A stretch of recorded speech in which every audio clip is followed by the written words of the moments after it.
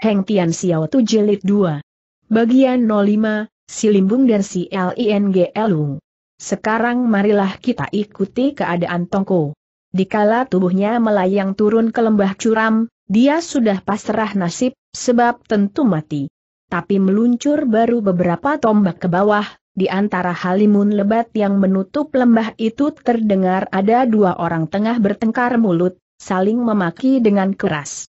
Kiranya tepat di atas sebuah batu raksasa yang menonjol di lamping gunung situ, terdapat dua orang tengah berkelahi. Yang satu seorang jangkung dan lawannya seorang Kate.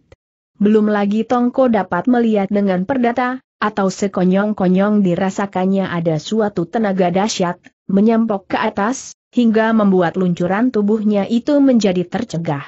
Ketika Tongko memperhatikannya, ternyata tenaga dahsyat itu berasal dari sebuah hantaman yang dilancarkan oleh si raksasa. Apakah ajalku ini belum sampai pikir Tongko? Dan baru benaknya memikir begitu, atau sepasang kakinya terasa dicengkeram keras-keras oleh tangan orang yang ternyata adalah si jangkung raksasa itu. Batu besar itu tak kurang dari lima tombak luasnya. Wut, tiba-tiba si kate melesat ke samping seraya menggerutu, Toa Koji, anak gede, hem, kau pintar mencari senjata ya? Serumpun janggutku yang panjang ini, bulan yang lalu telah kalah main. Kalau tidak, tentu akan kusuruhmu melihatnya. Si raksasa itu menggeram, maju setindak dia hantamkan tubuh Tongko ke arah si Kate. Tongko tenangkan perasaannya dan mencuri lihat ke arah si Kate. Orang pendek itu ternyata seorang tua, kepala gundul pelontos dan janggut pun tiada barang selembar rambut. Kalau bicara, metu dan hidungnya turut bergoyang naik turun, aneh dan lucu sekali tampaknya. Dia ternyata tak mau menghindar melainkan ulurkan tangannya untuk mencengkeram lengan Tongko lalu ditarik ke belakang sekuat-kuatnya. Tongko segera rasakan ditarik oleh suatu tenaga dahsyat hingga lengannya serasa terlepas dari bahunya.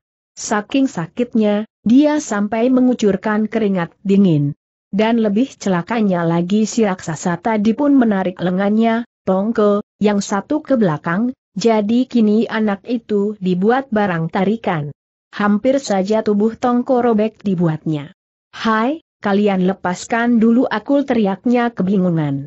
Rupanya kedua orang aneh itu sama terkesiap kaget hingga saling lepaskan cekalannya. Bum, Tongko menggelepar di atas batu, hampir sedikit saja dia menggelundung ke bawah jurang lagi. Astaga Firullah, kiranya kau ini seorang manusia hidup, Mengapa tak siang-siang bersuara tanya si Kate dan si Jangkung dengan titik serentak. Tongko berbangkit dan kedua orang aneh itu pun tertawa gelak-gelak melihatnya. Begitu meluncur tadi, kalian terus mementang lenganku, mana aku dapat bersuara lagi sahut Tongko. Si Kate berjingkrak sampai beberapa kaki tingginya lalu bertepuk-tepuk tangan, serunya, Huh, Toa Koji, tadi sudah berjanji tak menggunakan senjata, Mengapa kau gunakan anak itu sebagai senjata, kau kalah artinya? Si raksasa terbeliak kaget, walaupun tak terima tapi mulutnya tak dapat membela diri. Hanya selebar mukanya yang merah seperti kepiting direbus. Bah senjata itu tiba dari langit, mungkin Lo Tian Kong, Tuhan Allah, mau membantu aku, masa hal ini tak dianggap biji. Nah, akulah yang menang jawab si raksasa jangkung itu. Mendengar kata-kata mereka, tahulah Tongko bahwa kini dia sedang berhadapan dengan orang limbung dan orang linglung. Toa Koji, jangan ribut-ribut. Kau bilang aku yang kalah dan aku kata kau yang keok. Baik kita cari juri yang bisa bicara adil seru si Kate. Bagus sahut si Jangkung, tapi pada lain saat dia tampak kerutkan alis, ujarnya, tetapi tempat ini di tengah awang-awang, tidak di langit bukan di tanah, bagaimana akan mencari juri? Si Kate tertawa mengekeh lalu menuding pada Tongko, apa dia bukan? Tongko terkesiap kaget, dilihatnya mulut si Kate itu menyeringai mendesis-desis seperti tikus mencicit, namun dengan jelas sekali telinganya dapat mendengar setiap patah yang diucapkan. Buyung, cukup sepatah kau katakan aku yang menang, nanti ku beri suatu kebaikan yang besar sekali kepadamu. Sekalipun kepandaian Tongko itu dangkal, tapi pengalamannya cukup luas. Dilihatnya si Jangkung tadi masih terlongong-longong di samping, jadi terang kalau kata-kata si Kate tadi hanya dia sendiri yang dapat mendengarnya, Amboy, suatu ilmu wekang coan injipti, menyusupkan suara, yang tiada taranya. Tapi dia heran memikirkan, mengapa seorang tua yang sedemikian lihainya, kok limbung tak keruan begitu? Masakan dia disuruh jadi juri tapi disuruh mengatakan dia yang menang. Ya, mengapa kedua orang tak genah itu gasak-gasakan? Dan siapakah mereka itu? Tongko tak mau sembarangan memberi penyahutan, karena dia merasa namanya sudah jatuh. Tapi sebaliknya si kate itu menunjukkan muka setan kepadanya, sikapnya berseri-seri kegirangan.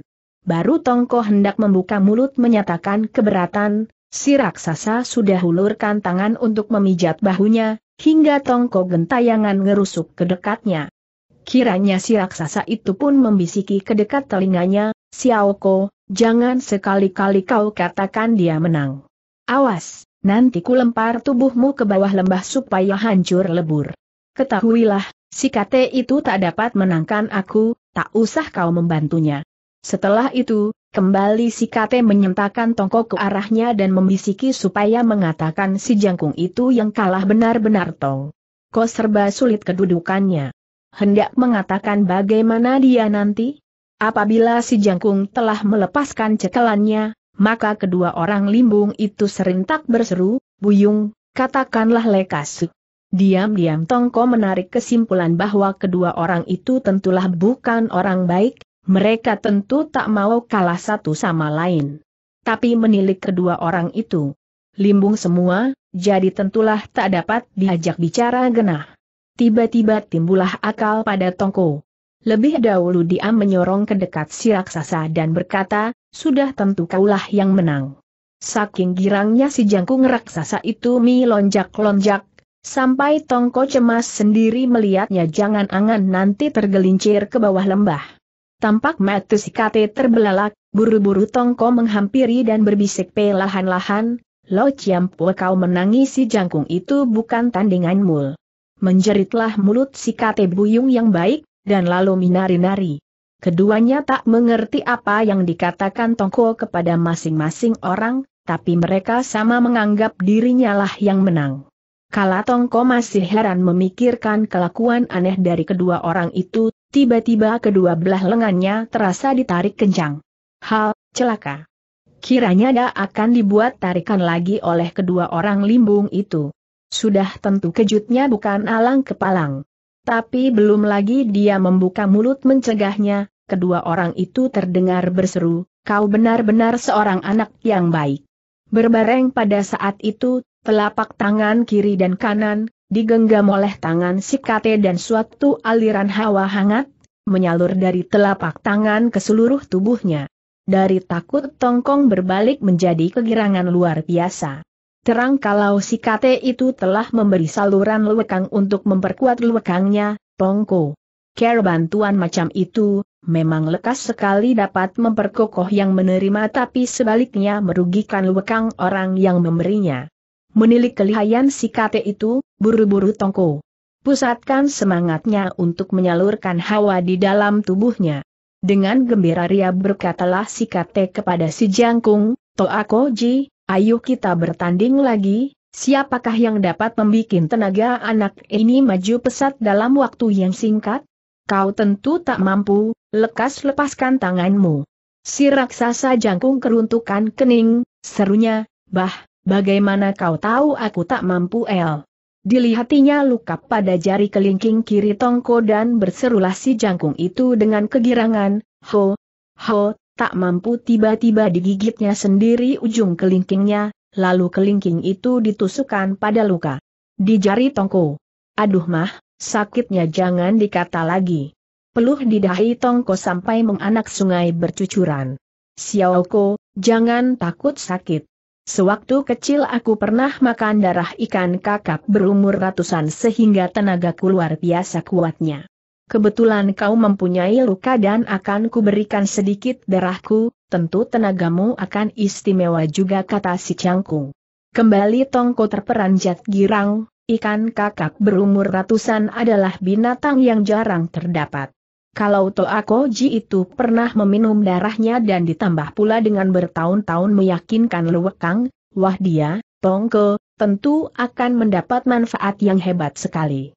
Rasanya lebih hebat dari minum segala macam obat kuat atau pil dewa. Pernah dia mendengar tentang seorang tokoh dalam dunia persilatan daerah Hokian, dia seorang bernama Chiang Tailo, bergelar Soa Kim Kong, malaikat dulu. Dia pernah mengikut Chok Singa, Sengkong, melawan pemerintah Cheng. Dengan menghancurkan pertahanan musuh di sungai Tiangkang, dia terus memimpin anak buahnya maju sampai ke Tinkang, sehingga membuat pemerintah Cheng kelabakan. Tapi akhirnya terpaksa mundur ke Taiwan dan entah bagaimana kabar ceritanya Iebi jauh. Kalau menilik dia itu menggunakan logat Hokian, jangan angan itu si Soa Kim Kong lah.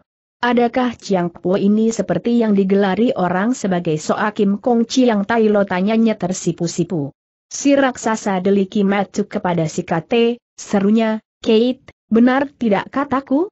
Bocah semacam dia pun kenal juga namaku, apa katamu lagi? Si Kate pelembungan pipinya lalu menyembur kata-kata nyaring kepada Tongko, Hoi, lekas katakan, siapa aku ini? Oleh karena Tongko tak pernah mendengar orang persilatan bercerita tentang seorang tokoh yang bertubuh Kate, maka dia pun tak dapat menyaut. Ujung batok kepala si Kate mengeluarkan keringat lalu dengan ilmu Choan Im Jipbi, dia kisiki telinga Tongko, Buyung, aku ini adalah Siklo Sam yang termasyhur, tingkatanku sejajar dengan guru dari Kim Kong Tolol itu. Huh, baru saja aku kehilangan janggut, kau sudah tak mengenali lagi titik. Ai, kiranya kau ini adalah Siklo Sam Siklo Ciampo yang namanya termasyhur itu terpaksa Tongko. Berseru, namun tak mau dia menambahkan komentar sejajar dengan suhu dari Soa Kim Kong. Ho, bocah gede, apa katamu tanya si Kate kepada si raksasa. Yang belakangan ini tak dapat menyahut apa-apa lagi. Dalam pada itu Tongko rasakan separuh badannya yang sebelah kanan dan separuh yang sebelah kiri, berlainan, hawa tun yang positif murni, yang disalurkan siklosem melalui tangannya kanan, mengalir dengan derasnya ke tubuh. Tapi biar bagaimana juga tak dapat mengalir ke separuh tubuhnya sebelah kiri. Jadi serasa tubuh Tongko itu dibelah dua dan jadilah dia dua macam manusia. Sebelah kiri darahnya panas, kekuatannya besar sekali. Hawa yang terputar pada bagian tubuh sebelah itu, merupakan dasar luekang yang berlainan dari tubuh sebelah kanan. Dua macam luekang memasak tubuh Tongke, sehingga dia sendiri tak tahu bakal celakakah atau untungkah. Apa boleh buat, dia hanya pasrah nasib saja. Tak berapa lama kemudian, walaupun ujung kelingking si Soakim Kong itu masih melekat pada luka kelingking Tongke, namun sudah tak mengeluarkan darah lagi. Seperti siklosem, orang limbung yang bertubuh tinggi besar itu menyalurkan iwakangnya kepada Tongko. Dua-duanya sama ngotot tak mau sudah. Hari pun sudah menjelang petang.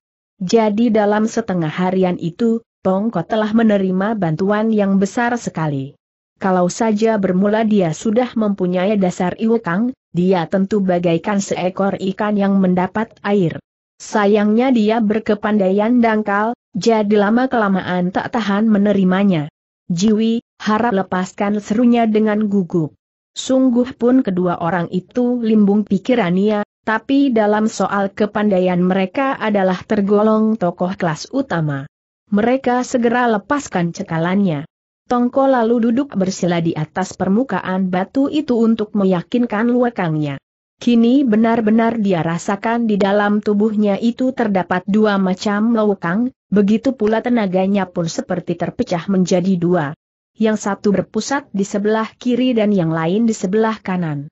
Sekalipun dapat digunakan berbareng, tapi dua-duanya mempunyai daya guna berlainan. Tongko kaget tercampur girang. Kaget, karena memikirkan adakah keadaan itu bakal berlangsung terus. Kelak apabila dalam latihan, tidaklah kedua macam lowekang itu kan berbenturan sendiri? Girang, sebab ilmu kepandaian yang sedemikian luar biasanya itu, rasanya di kolong langit ini hanya dia seorang yang memiliki. Kalau saja hal itu tak menjadi halangan dan dapat dilatih dengan sempurna bukankah akan merupakan suatu keistimewaan besar? Dia lanjutkan latihannya itu sampal semalam suntuk. Keesokan harinya tatkala matahari terbit, dilihatnya si Klo Sam dan Soa Kim Kong masih saling pencelengan, saling deliki mata. Wajah mereka saling mengunjuk sikap tak mau kalah. Begitu melihat Tongko membuka mata, serempak mereka bertanya, siapakah yang lewekangnya lebih jempol? Dikarenakan kedua orang limbung itu saling mengukur kepandaian, jadi dia bisa mendapat keuntungan yang sedemikian bagusnya. Hal itu sungguh jarang terdapat di dunia. Memikir sampai di situ, tak mau Tongko mempermainkan mereka lagi, katanya. Oleh karena sekarang belum dapat diketahui siapa kalah siapa menang, lebih baik diundur sampai setahun lagi, nanti kita bertiga berjumpa lagi di sini. Aku tentu akan mengatakan yang seadil-adilnya. Tidak, kalau sampai waktunya kau tidak datang, kan berabe. Kalau sekarang kau tak dapat mengatakan, kita akan tunggui kau di atas batu ini sampal setahun untuk menungkuli kau berlatih selama satu tahun, Tongko terkesiap. Setelah dapat kembali dari maut, telah berapa banyak hal yang hendak dia kerjakan. Satu tahun disimpan, di situ, aduh mak, sakit rasanya. Tapi menilik kesungguhan kata si kate tadi, dia tak berani membantah. Bagian 06, sebuah pertemuan. Selagi Tongko kebingungan, tiba-tiba terdengar suatu bunyi suitan yang nyaring bening, bagaikan kokok seekor bangau. Suitan itu makin lama makin kuat, dia melongok ke bawah, tampak ada seorang pemuda tengah merayap ke atas dengan menggelantung pada tumbuhan rotan. Begitu cepat cara dia merayap itu, hingga dalam beberapa kejap saja setelah ayunkan tubuh, dapat dia berdiri jejak di atas permukaan batu situ. Hai, kiranya dia itu seorang anak sekolah yang parasnya cakap tapi agak hitam manis kulitannya. Pertama melihat, Entah bagaimana, Tongko mempunyai rasa simpati kepada anak muda itu. Anehnya, kalau hendak naik ke atas gunung mengapa pemuda itu tak melalui jalanan gunung saja tetapi memanjat care begitu? Astaga, teringat dia sekarang soalnya. Di atas, adalah puncak Giok Linia, markas utama dari pusat anasir penentang penjajah Cheng. Ditilik rupanya, pemuda itu tentu bukan orang baik, kemungkinan besar dia tentu hendak menyelidiki markas Giok Linia. Secepat mendapat dugaan itu, secepat itu pula Tongko maju menyongsong ke muka, seraya menegurnya dengan keras, sahabat, kalau naik ke atas mengapa tak mau ambil jalan di gunung, tetapi menggunakan kera monyet begitu? Pemuda itu terkesiap, sahutnya, aku sedang mencoba ilmuku mengentengi tubuh, apakah mengganggu padamu? Mengapa kau ucapkan kata-kata yang melukai perasaan orang? Siapakah nama sahabat ini? Tanya pula Tongko yang sudah tentu tak mau percaya begitu saja. Tetapi rupanya pemuda itu pun kurang senang dibuatnya. Aku tak mau mengatakan padamu, coba kau hendak terbuat apa sahutnya. Makin keras dugaan Tongko bahwa pemuda sekolahan itu tentu seorang jahat. Tanpa ragu-ragu lagi dia kirim sebuah pukulan. Tapi dia sendiri segera terkejut, ketika didapatinya bahwa hanya dalam semalam saja kini daya pukulannya sudah berubah sedemikian kerasnya. Ai, kalau anak sekolah itu tak kuat menahan, bukankah akan jauh ke dalam lembah sana buru-buru dia tarik pulang pukulannya, tapi dalam pada itu si pemuda pun sudah menghindar dan tahu-tahu dia mengambil sebuah senjata yang aneh bentuknya, dari atas kepala. Siapakah engkau sahabat? Tanya Tongko dengan curiga sembari melontarkan pukulan. Akan tetapi si pemuda sekolahan itu cepat mengeluarkan semacam senjata aneh, senjata itu berbentuk kelintingan berduri dan berantai. Dengan genggaman itu, dia terus balas menyerang. Kiranya senjata itu adalah sebuah rantai halus sepanjang satu meteran. Kedua ujungnya saling menggandeng dan di tengahnya dicanteli sebuah kelinting, persis seperti mainan anak-anak yang dipakai di atas kopiah, hanya lebih besar dan di atas kelinting itu diberi ujung yang tajam. Begitu disabatkan, ujung kelinting itu mengancam telapak tangan Tongko. Coba tadi Tongko tak menarik pulang tangannya, pastilah akan sudah terjadi benturan yang menentukan pertempuran itu. Adalah Soa Kim Kong Chi yang Tailo dan Siklo Sam yang melihat Tongko bertempur dengan anak muda itu, segera sama-sama berseru, kita mau ikut juga. Yang satu dari kiri dan yang lain dari kanan, serentak sama menyerbu. Belum orangnya tiba, sambaran anginnya sudah menyiak. Saking kagetnya si anak muda itu mundur beberapa tindak dan lupalah seketika dia kalau di belakangnya itu adalah udara kosong. Tak ampun lagi terjungkal dia ke bawah lembah yang dalamnya ratusan tombak itu. Tongko juga terperanjat sekali. Mengapa kalian berdua belum tahu hitam putihnya sudah lantas mendorong orang jatuh ke bawah serunya dengan geram. Siklo Sam dan Soa Kim Kong deliki mata, menyahut, Hai, bukankah kau sendiri yang mengatakan kalau dia itu orang busuk Tongko Bohwat, tobat, terhadap dua orang limbung itu. Tak habis getunya dia memikirkan anak muda tadi. Dia sendiri belum tahu benar siapakah orang itu. Ya, kalau dia itu memang seorang jahat itu sih. Tak mengapa, tapi kalau tidak, bukankah berarti dia yang mencelakainya? Kalau dia masih terbenam dalam keraguan, adalah kedua orang limbung itu, sudah bertengkar lagi. Tongko tak hiraukan mereka, melainkan melongo ke bawah. Tiba-tiba didengarnya ada suara orang mengerang. Rupanya suara erangan si anak muda tadi. Tongko seorang anak muda yang bersungguh-sungguh. Bukan melainkan wataknya saja yang keras, tapi pun terhadap segala apa dia tentu mau tahu sampai jelas betul dia tetap merasa getun telah menyebabkan anak muda tadi terperosok jatuh ke bawah. Menilik suara erangan tadi, jangan angan anak muda itu masih belum binasa. Lain orang mungkin akan mencari jalan untuk menolongnya, tapi beda halnya dengan Tongko yang berpendapat begini, kalau dia tak sampai terjatuh mati, masa aku dapat? Ah, seharusnya aku menolongnya. Dan sehabis berpikir begitu, tanpa ditimbang lebih jauh, dia segera ayunkan tubuh loncat ke bawah. Kiranya dalam lembah itu penuh diselimuti halimun tebal hingga selebih pada jarak setombak, Tongko tak dapat melihat apa-apa lagi. Kira-kira tiga empat tombak meluncur ke bawah, tiba-tiba tubuh Tongko kecantel oleh sebuah dahan puhun siong. Dahan pohon itu melingkar-lingkar ke samping sampai beberapa tombak luasnya dan kebenaran sekali dapat mengayat tubuh Tongko tadi. Tongko beranggapan bahwa tentulah pemuda itu juga kecantel di situ, tapi entah di mana. Maka setelah memulangkan napas, dia lalu berseru pelahan-pelahan, sahabat, kau di mana? Belum habis Tongko menyerukan kata-katanya, tring. Kedengaran bunyi kelinting melayang disusul dengan munculnya si anak sekolahan tadi yang menginjak pada sebuah dahan kecil sebesar jari tangan. Tubuhnya lemah gemulai, makin mengunjuk gerakannya sangat lincah.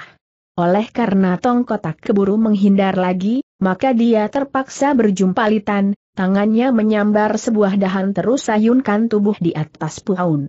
Ah, tak kira kalau dia dapat berbuat begitu.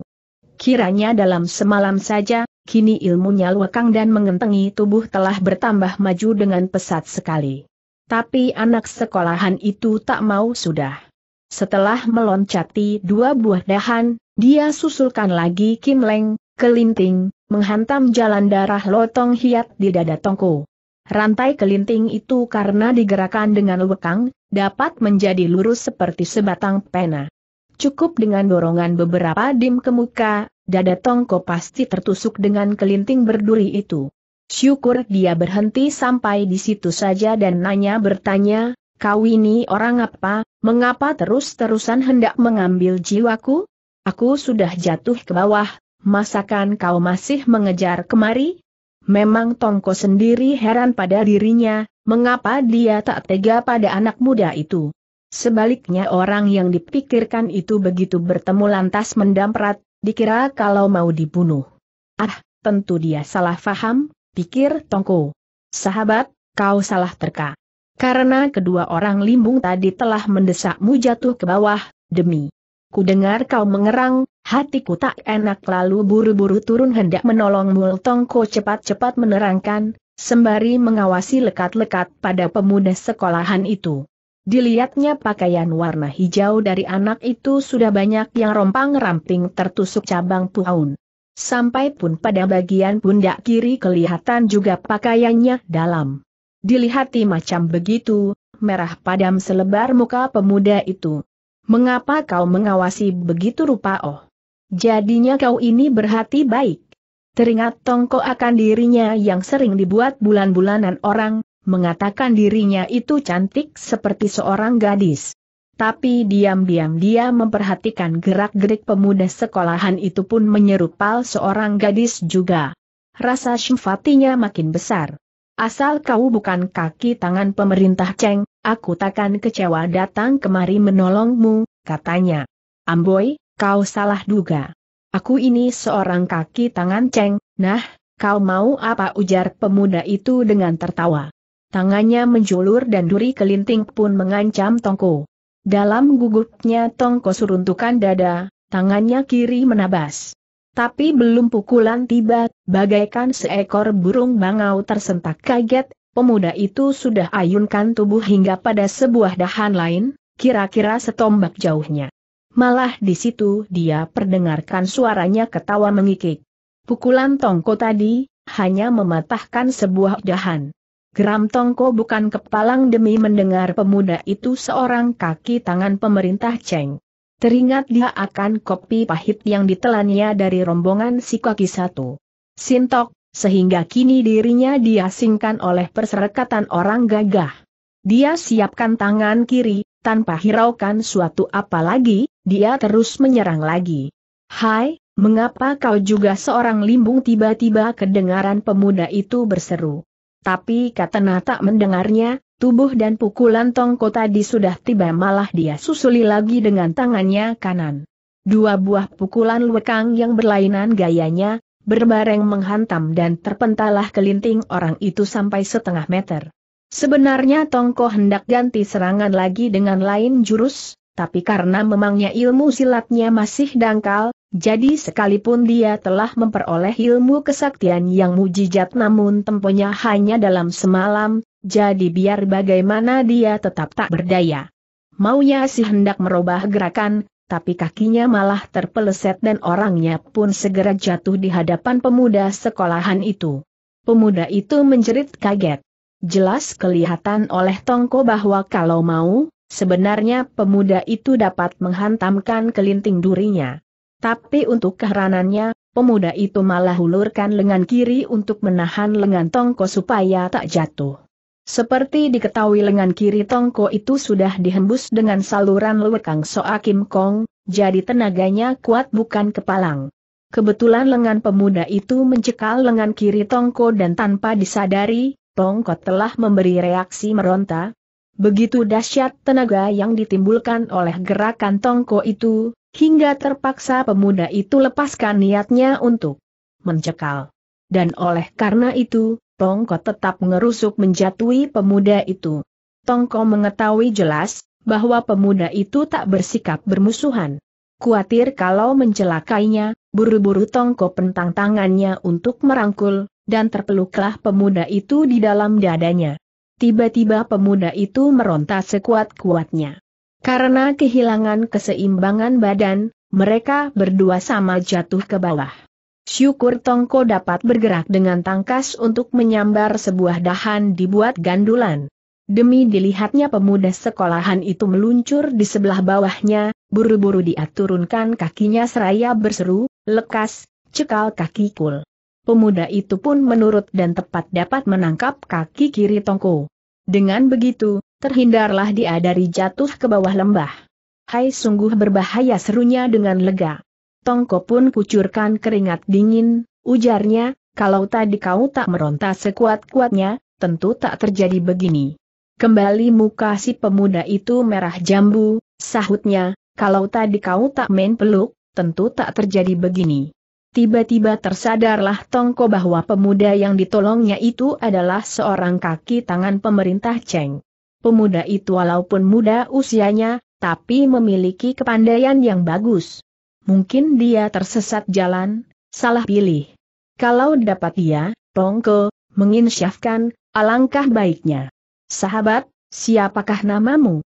Mengapa dapat berhamba pada pemerintah Cheng tanyanya dengan nada bersungguh-sungguh. Sepasang biji mata pemuda itu berkicup-kicup, sikapnya aneh sekali. Entahlah, aku tak tahu sendiri. Sekali tak berhati-hati lalu menjadi anak cucu kuku Garudal. Tongko terbeliak. Masakan ada orang menyebut anak cucu kuku Garuda? Sebenarnya bagaimanakah duduk perkaranya, bolehkah aku mengetahuinya tanyanya kemudian. Sudah tentu boleh. Ketika aku menuju ke Lohausan hendak mencari seseorang, di lamping gunung aku berpapasan dengan dua orang lelaki gagah dan seorang pendek yang limbung. Si pendek itu mengatakan aku bukan orang baik. Nah, apa dayaku kata si pemuda sambil tertawa. Mendengar keterangan itu, berserulah Tongko dengan gembira, Ha, kiranya kau bukan seorang hamba penjajah. Biarpun bukan hamba ceng, tapi dikatakan bukan orang baik, juga Sami Mawon, serupa saja sahut si pemuda pula. Tapi kau kan bukan kaki tangan pemerintah ceng benar-benar toh Tongko balas tertawa. Dia malu sendiri, mengapa saking keliwat berhati-hati dia sudah menyangka jelek pada orang baik. Ujarnya pula, sahabat, jangan kau menertawaiku. Tadi aku sudah salah lihat, apalagi baru saja aku mendapat fitnahan dari gerombolan Tailwe. Ko Tiu, jagoan lihai istana Cheng, si Tokak Sin Mo Sin Tok dan kawan-kawan, makanya aku sampai kesalahan padamu tadi. Tanpa diminta, Tongko lalu tuturkan apa yang telah dialaminya karena difitnah itu. Perkampungan rakyat habis dibakar, Nio Kong Lim dan putra bungsu Xiao Beng Xiang Tio Jiang binasa dan akhirnya dia harus menebus dosa disuruh loncat dari atas puncak gunung. Di antara sekian banyak orang, masakan tiada seorang pun yang mempercayai kejujuranmu tanya si pemuda dengan membelalakan mata. Tongko menghela napas, sahutnya, apa guna aku berdebat? Siapa yang sudi percaya padaku? Aku serentak pemuda itu menyahut tanpa ragu-ragu. Begitu tetap nada suaranya, hingga hati Tongko tergerak diam-diam-diam memikir, aku baru saja berkenalan dengan dia, apalagi tadi hampir saja aku celakai dirinya, tapi dia tetap percaya padaku. Ah, sungguh jarang terdapat orang macam begitu. Sedang Tio In yang menyintai aku pun rasanya belum tentu mau menaruh kepercayaan padaku. Tanda petik. Ku khawatir yang mau mempercayai diriku, hanya saudara seorang sajalah buru-buru Tongko menyanggapi. Ah, usah main sungkan. Ayo, kita naik ke atas gunung atau turun. Kita harus lekas-lekas menetapkan rencana tak boleh terus-menerus terkatung-katung di sini kata si pemuda. Memang pada saat itu, Tongko sendiri pun sudah rasakan boyoknya, pinggang, pegal karena diganduli oleh si pemuda. Tapi tempat itu tepat di tengah angkasa. Langit tidak bumi pun bukan. Jadi dia sendiri tak tahu bagaimana harus bertindak, mereka berunding, tapi tetap tak dapat menemukan cara yang baik untuk menghindarkan diri. Selagi keduanya dalam keputusan akal, tiba-tiba kedengaran ada suara cuat-cuit yang keras. Dalam beberapa kejap, entah ada berapa puluh ekor kerasama loncat menghampiri. Pemuda itu mendadak tampak kegirangan dan mulutnya tak henti-hentinya bersuit nyering. Nada suitan itu menyerupai dengan cuat-cuit kawanan kera tadi. Pada lain saat, kawanan kera itu sama naik ke atas pohon dan mengerumuni si pemuda. Rupanya mereka sangat menyayanginya. Ada beberapa ekor kera yang menggelandoti tongko, hingga membuatnya mendongkol sekali. Sudah hampir setengah harian, dia bergelantungan pada dahan semilari kakinya diganduli si pemuda, kini masih ditambahi beratnya lagi dengan kera-kera itu. Bukan saja makin berat, pun juga terasa carry, geli. Berulang kali dia memaki-maki, namun kera-kera itu tak menghiraukannya. Sebaliknya si pemuda itu malah tertawa riang. Sahabat, rupanya kau dapat berbahasa kera, mengapa tak lekas-lekas menghalau mereka akhirnya saking tak kuat menahan kemengkalan hatinya, Tongko menggerutu.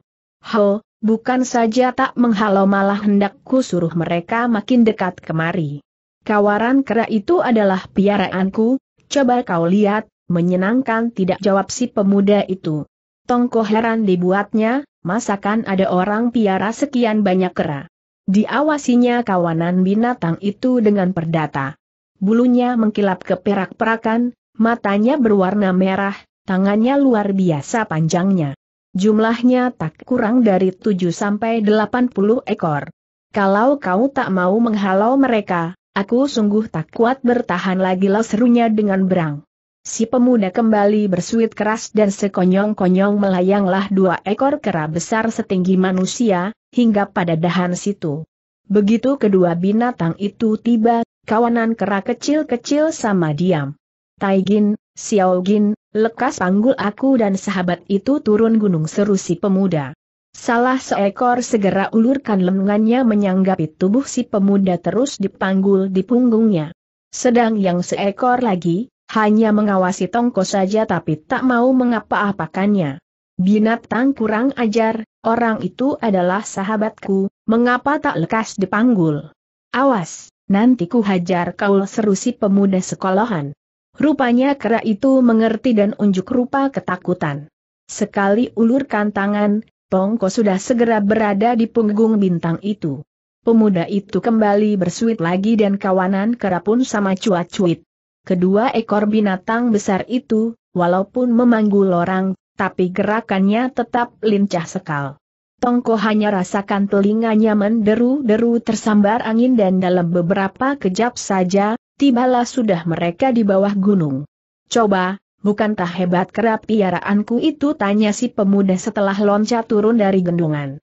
Konon kabarnya keragin si kau, kera bulu perak, hanya terdapat di gunung Sip Bantaisan saja. Adakah kau ini berasal dari daerah yang sejauh itu Tongko balas bertanya. Ya, benar, sahut si pemuda dengan tertawa. Tongko makin heran. Care bagaimana kau menempuh perjalanan dengan membawa sekian banyak kera itu tanyanya pula. Ai, benar-benar aku tak memikir sampai di situ, kiranya tentu bakal merupakan suatu tamasya yang menggembirakan sekali. Kali ini aku suruh mereka datang kemari sendiri, Sayang, sayang. Tapi mengapa kau tak segera datang ke Gioklinia dengan terang-terangan Tongko mengulang tanya. Gioklinia banyak terdapat para orang gagah perwira, tapi tiada seorang pun dari mereka yang berpikiran waras. Buktinya, tiada seorang yang mau percaya akan penasaranmu. Ah, aku tak sudi ke sana. Hati Tongko tergerak, segera dia menjurah memberi hormat. Ujarnya, budi kebaikan Anda itu, Tongko akan ingat selama-lamanya. Tapi sebaliknya pemuda sekolahan itu malah ketawa menggigil, sahutnya tingkah kecut, laku kecut. Tongko terkesiap. Adanya dia tadi mengunjuk sikap sedemikian hormatnya karena mengingat pemuda itu rupanya seperti anak sekolahan. Tapi mengapa dirinya dikatakan bertingkah laku kecut? Adakah dia itu bukan seorang pelajar? Aku Schneider, bernama Ing, kata si pemuda setelah puas ketawa. Hai, mengapa seperti nama seorang anak perempuan saja Tongko balas tertawa. Tapi si pemuda itu hanya ganda tertawa juga lalu alihkan pembicaraan, katanya, jika Tong Heng tak mempunyai urusan apa-apa, mengapa tak ikut aku pesiar ke pegunungan Sip Bantaisan? Dengan membawa sekawanan kera itu dalam perjalanan, kita tentu mendapat kegembiraan besar. Tongko memberi anjuran supaya pemuda Deing itu teruskan niatnya untuk menjumpai perserikatan orang gagah dari Lohusan, tapi rupanya pemuda itu tak mau. Malah dia segera merajuk hendak lanjutkan perjalanannya seorang diri, jika Tongko tak mau ikut. Entah bagaimana, rasanya Tongko seperti ada ikatan batin dengan Deing itu. Berat niat dia untuk berpisah. Deheng, ke Gunung Sip Bantaisan aku tak mempunyai hasrat. Ku berniat mencari suatu tempat sunyi untuk meyakinkan ilmu kepandaian. Kelak hendak ku cari Tokak Sin Mo Sin Tok dan kedua saudara Shin itu.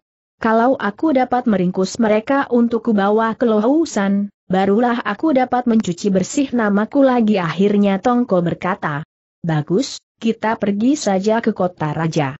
Biarkan kawanan kerasip bantaisan itu mendapat pengalaman di kota raja di luar dugaan si pemuda itu malah bertepuk girang. Tongko diam-diam mengeluh, tapi apa boleh buat. Begitulah mereka sembari berjalan sembari pasang pembicaraan dengan asik sekali. Melintasi sebuah puncak gunung, tibalah mereka pada sebuah puncak yang menjulang tinggi di angkasa. Sebuah dataran sempit terbentang di tengah. Ketika Tongko hendak nasihati supaya Deing jangan membawa kawanan kera itu, tiba-tiba didengarnya ada derap kaki kuda mendatangi dan suara jeritan anak perempuan. Suara itu makin lama makin dekat. Kawanan kera sama menyongsong ke belakang, sedang kedua ekor kera besar itu meringkik-ringkik dengan suara yang aneh. Kiranya sewaktu Tongko dan Deing berpaling ke belakang, di sana tampak ada tiga ekor penunggang kuda mencongklang dengan pesatnya. Penunggang Iang di muka sendiri, bolang-balingkan pian untuk menghantam kawanan kera Ginsi Kau yang menghadangnya sehingga kera-kera itu sama cuat-cuit lari bubar. Deru sambaran pian itu sangatlah serunya, menandakan bahwa orang itu berilmu tinggi. Tongko terkesiap kaget, demi diketahuinya bahwa orang itu bukan lain adalah si Tokak Sinmo Sintok, musuh lama yang hendak dicarinya itu. Saking girangnya, dia sampai lupa untuk mengajak Deing, tapi terus enjot tubuhnya lari menyerangnya. Melihat ada seorang penyerang, Sintok pun menyambut dengan pian, tapi Tongko dengan beraninya segera menyambar pian itu. Kini jelaslah sudah si kaki satu Sintok bahwa penyerangnya itu adalah Tongko. Hem, gila anak. Itu, masa berani menyanggapi pianku, pikir Sintok. Dia segera kirim sebuah pukulan dan kebetulan pula tangan kiri Tongko pun maju menghantam. Plak, ketika kedua kepelan itu saling beradu, si kaki satu terkejut bukan buatan. Didapatinya tenaga pukulan anak muda itu hebat benar buru-buru diakerahkan lewekang dan karena kurang latihan maka terpentalah Tongko sampai setombak jauhnya. Tadi Ding masih belum mengetahui telah terjadi hal apa. Tapi demi dilihatnya Tongko terpental jatuh, buru-buru dia lari menghampiri. Tepat pada saat itu, dua penunggang kuda yang di belakang si kaki satu pun sudah lewat di situ. Kembali terdengar suara jeritan anak perempuan yang kini jelas berasal dari arah penunggang kuda yang paling belakang sendiri. Demi Tongko mengawasi penunggang kuda itu, ternyata itulah Cecing Long Shin Hiat Ji. Dengan sebelah tangan memegang kendali, sebelah tangan anak itu mengepit seorang gadis. Ditilik dari nada jeritannya tadi, pula dari bentuk tubuhnya, gadis itu tentulah Tio In adanya. Mengapa Tio In dapat dilarikan pula oleh rombongan Hiat Ji, bukankah ia sudah dirampas balik oleh Tio Jiang dan dibawa Yan Chiu ke Lohusan? Untuk jelasnya baiklah kita mundur dulu pada kejadian dua hari berselang. Pada malam itu Tio Jiang dan Yan Chiu segera lakukan pengejaran pada rombongan Sintok bertiga. Setelah kesusul, sepasang suami istri itu segera mainkan pasangan ilmu pedang Chu Hei Kiam Huat dan Hoan Keng Kiam Huat. Yan Chiu memapas kaki belakang dari kuda. Hiat Ji. Saking kagetnya Hiat Ji segera lempar karung yang berisi Tio In ke belakang, hingga hampir saja ujung pedang Yan Chiu mengenai puterinya seadiri. Syukurlah Tio Jiang dapat berlaku sebat untuk menyambar karung itu lalu loncat mundur jauh-jauh.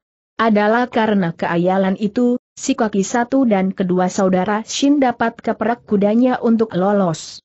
Tio Jiang dapat menolong anaknya tapi tak berhasil menghadang ketiga musuhnya itu.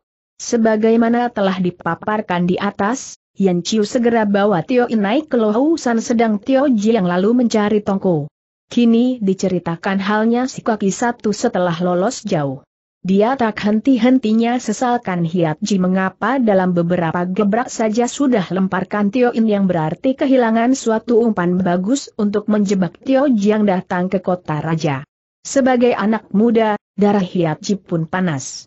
Apalagi sewaktu kecilnya dia telah memperoleh keajaiban, di piara induk harimau, tenaganya besar dan dapat pula meyakinkan ilmu silat yang tinggi. Dengan memiliki andalan itu, dia memang tak memandang pada orang lain lagi. Disesali oleh si kaki satu, dia balas ketawa sinis, serunya mengejek, Losin, mengapakah sendiri tak mau balik bertempur tapi sebaliknya lari tunggang langgang saking marahnya si kaki satu sampai tak dapat berkata apa-apa. Kalau tidak dipisah oleh Sohunci yang Shin Leng Xiao mungkin dia sudah berkelahi dengan Hiat Ji. Tapi si Hiat Ji tetap tak marah, tawar-tawar saja dia berseru, aku tak percaya, hanya dikarenakan Xiao Beng Xiang Tio Ji yang seorang saja, kita harus ramai-ramai menangkapnya. Oleh karena mereka sama berkumpul di Lohusan, maka aku hendak pergi ke sana seorang diri. Andai kata tak berhasil menangkap Tio Jiang, Sekurang-kurangnya aku tentu berhasil menawan Tio In untuk mengganti kerugianmu. Habis berkata itu, dia terus cemplak kudanya dilarikan sekeras-keras saya. Melihat adiknya hendak menerjang kubangan naga sarang harimau di Lohausan, Shin Leng Xiao buru-buru menyusul hendak mencegahnya.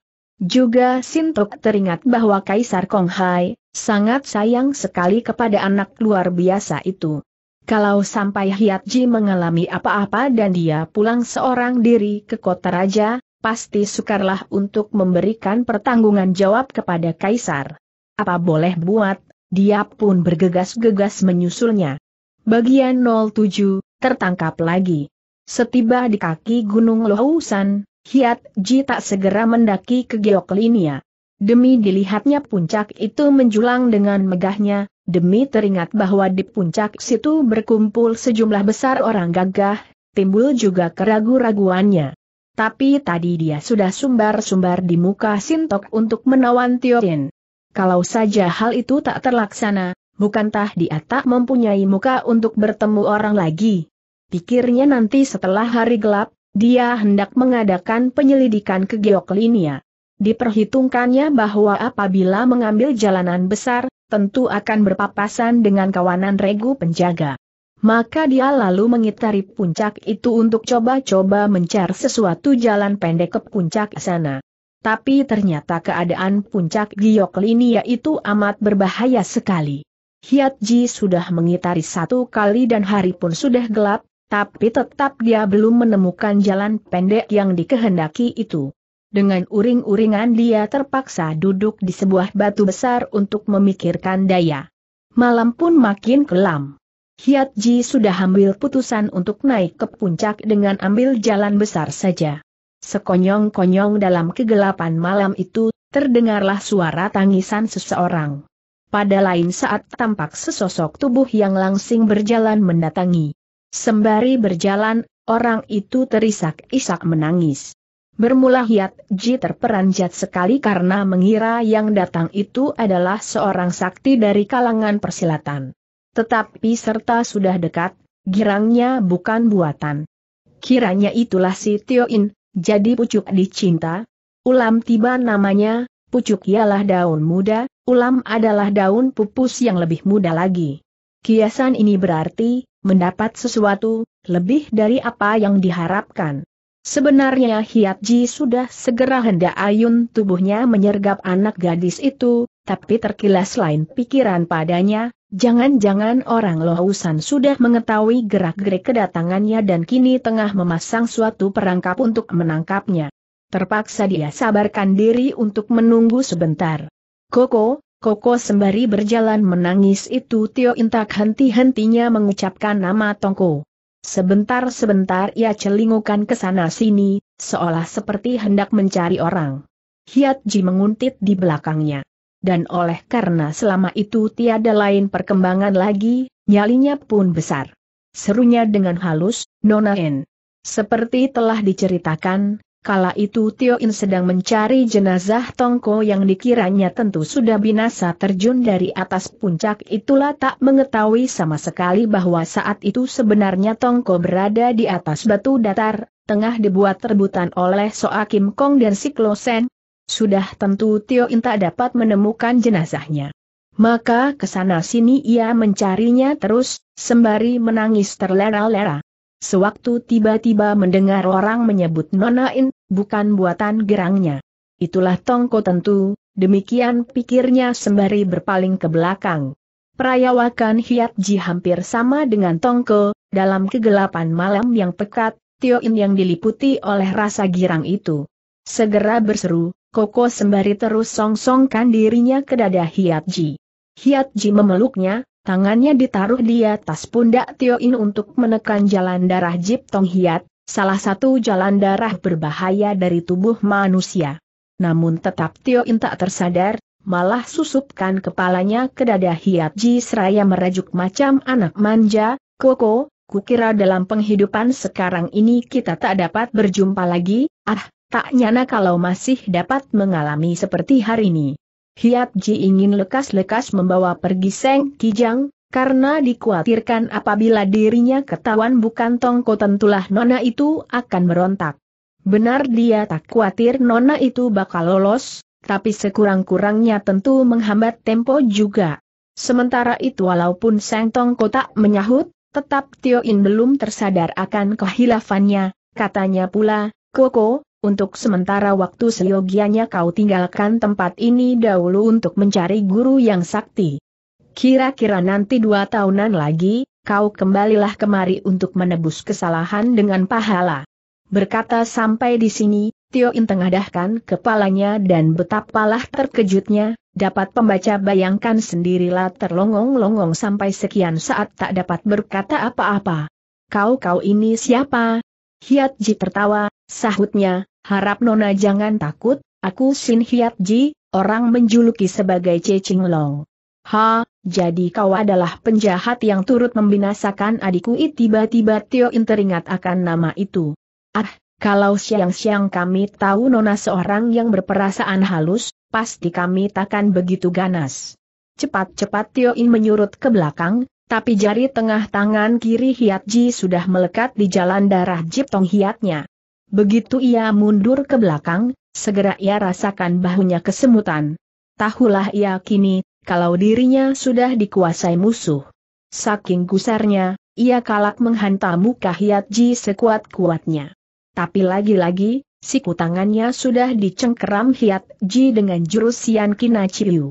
Kini Tio In tak berdaya lagi. Kau-kau hendak bagaimana? Hendak ajak Nona pesiar ke kota Raja sahut Hiat Ji tertawa.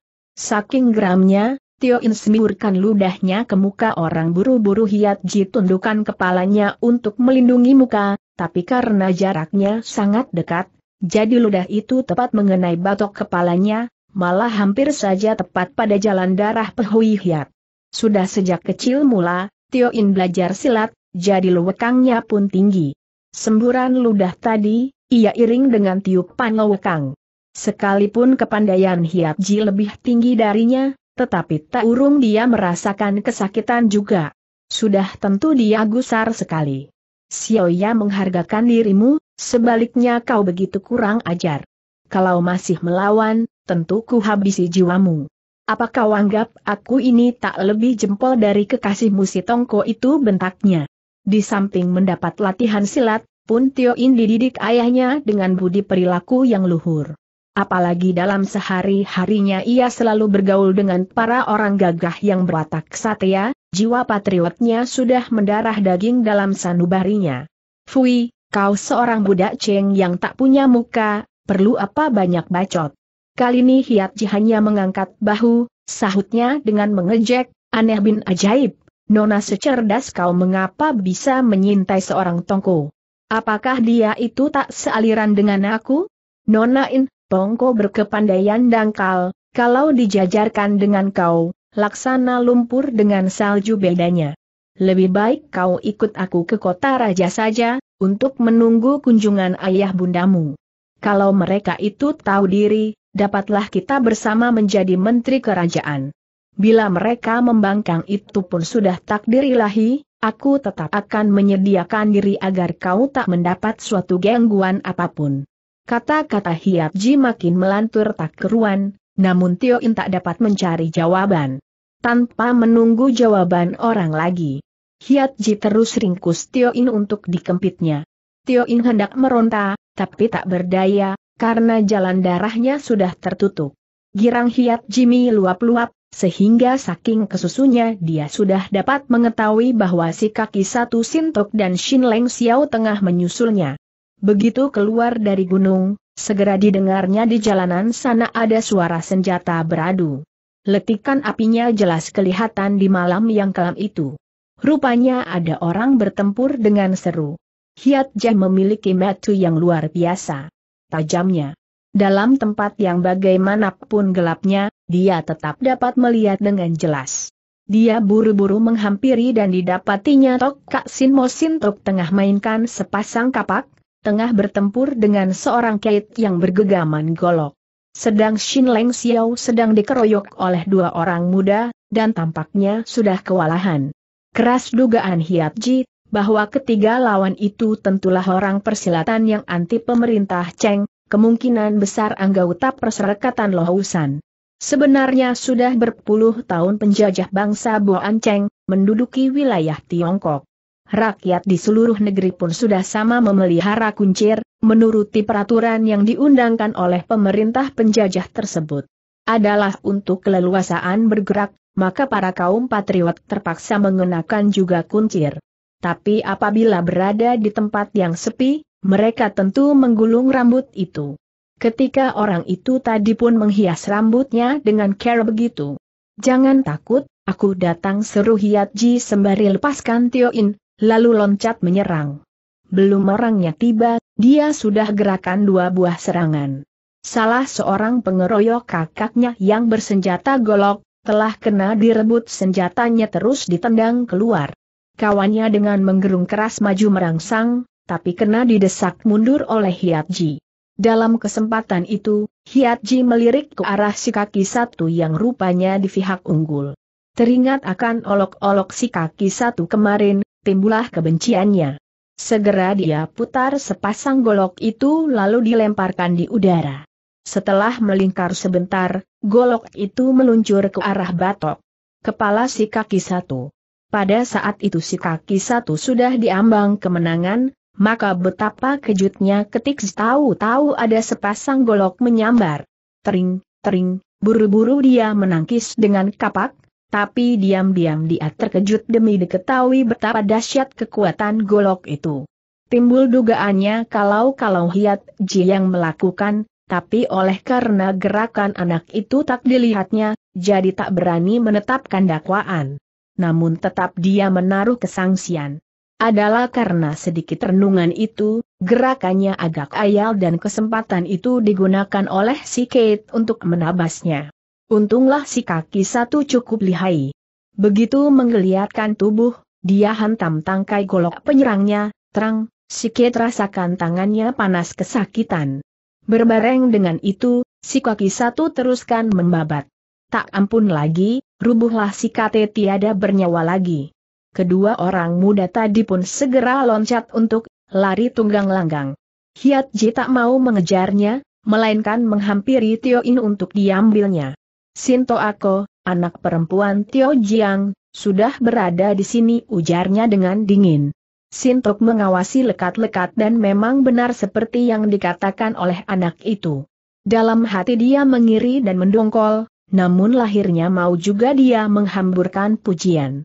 Demikian diam-diam di antara kedua orang itu terdapat jurang permusuhan gelap.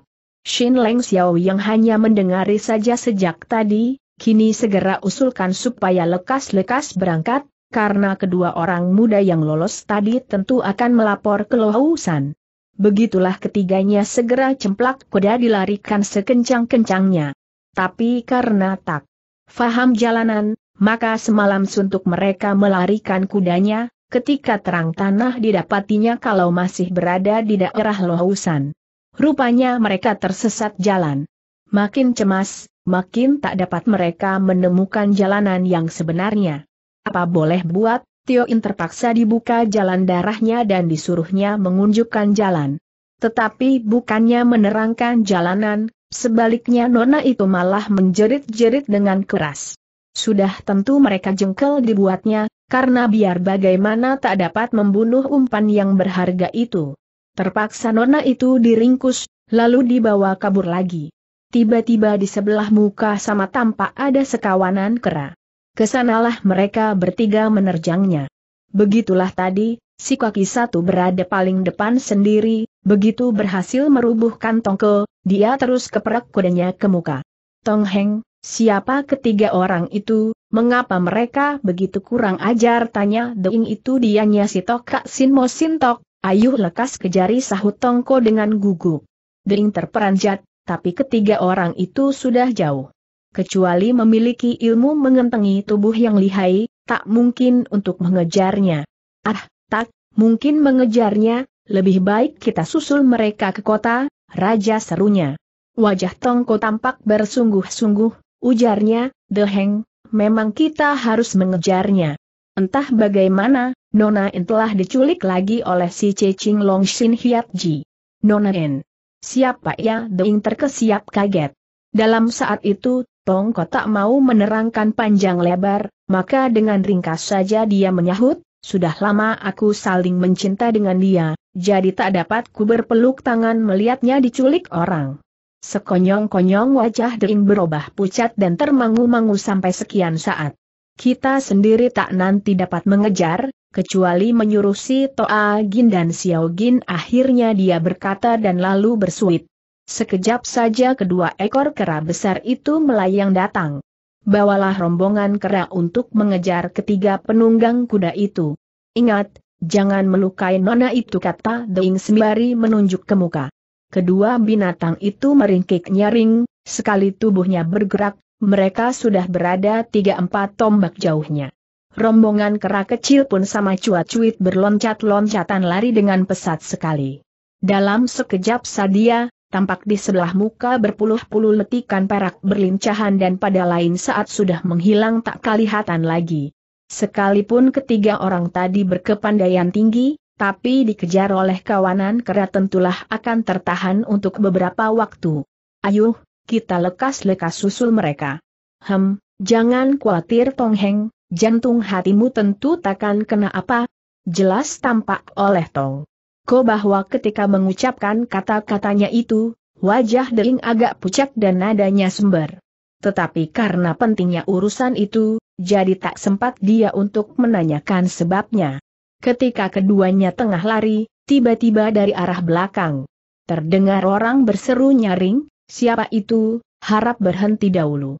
Nada suaranya begitu menggema hingga sampai berkumandang ke seluruh penjuru, menandakan lowekang orang itu telah mencapai tingkat kesempurnaan. Ketika Tongko dan Deing berpaling ke belakang, sesosok tubuh telah melayang tiba di hadapan mereka. Hai, kiranya seorang wanita dari pertengahan umur, mencekal sebatang pedang yang berkeliau-keliauan sinarnya. Tapi begitu melihat Tongko, wanita itu segera membentaknya dengan murka, Ho, kiranya kau, bangsat. Berbareng dengan dampratan itu, tangan si wanita segera gerakan pedang menyerang Tongke, siapa sudah tentu menjadi terkejut sekali. Tetapi kala dia hendak menghindar ke belakang, tering, terdengarlah benturan dua batang pedang. Ketika diawasi, ternyata di situ terdapat pula seorang lelaki yang bukan lain Xiao Beng Xiang Tio Jiang adanya. Sedang wanita tadi, yakni Hui Lei Hang Yan Chiu tentu dialah yang mengajak kuku Garuda untuk menculik Inji. Mengapa lagi-lagi kau mencegati Yan Chiu dengan merah pada menegur suaminya? Belum Tio Jiang menyahut, Bing sudah mendahului, kalau tak salah kalian ini tentulah sepasang suami istri Xiao Beng Xiang Tio Jiang. Begitu harum nama kalian di kalangan persilatan, di sana sini orang sama mengindahkan, tetapi sungguh tak nyana kalau ternyata adalah orang yang tak dapat membedakan hitam putih. Sebenarnya bukan demikian watak perangkaian Ciu. Adalah karena kehilangan putra kesayangannya, ia sampai begitu rupa membenci Tongko. Ini dapat dimaklumi bagi seorang ibu. Maka begitu melihat Tongko, tanpa tanya ba atau bu lagi, ia terus menyerangnya. Apalagi tadi mereka sudah hampir dapat mencandak rombongan si kaki satu, atau tiba-tiba Tongko menghadang di tengah jalan. Bahwasanya Tongko ternyata belum binasa, telah mendorong Jan Chiu pada kesimpulan kalau anak muda itulah yang mengadiak rombongan Sintok kelausan lagi untuk melakukan penculikan. Kata-kata Deing tadi makin menambah minyak pada api kemarahan Yan Chiu. Kau ini siapa tanyanya dengan geram. Kau katakan sendirilah sahut DLNG sembari tertawa-tawa. Telur busuk, siapa yang sudi kau ajak main tebak dalam marahnya Yan Chiu terus balingkan pedangnya. Melihat belum lagi wanita itu membuka serangan, perbawanya sudah sedemikian garang apalagi pedang yang dicekalnya itu terang bukan sembarang pedang, maka menyurutlah Ding dua tindak ke belakang. Ha, kiranya Willy Hang benar-benar seorang yang tak kenal aturan. Keterangan Tong Heng tadi, memang tak salah serunya dengan sengit. Huh, bangsa tikus buduk tentu saling mempercayai balas Yan Chiu. Melihat istrinya bertengkar, Tio Ji yang segera berseru, Yan Chiu, sudahlah jangan buang waktu, ayo kejar kuku Garuda yang membawa Inji itu. Yan Chiu mengiyakan. Untuk sementara, ku beri kemurahan berdua serunya kepada Tongko dan Dring, lalu melesat menyusul suaminya.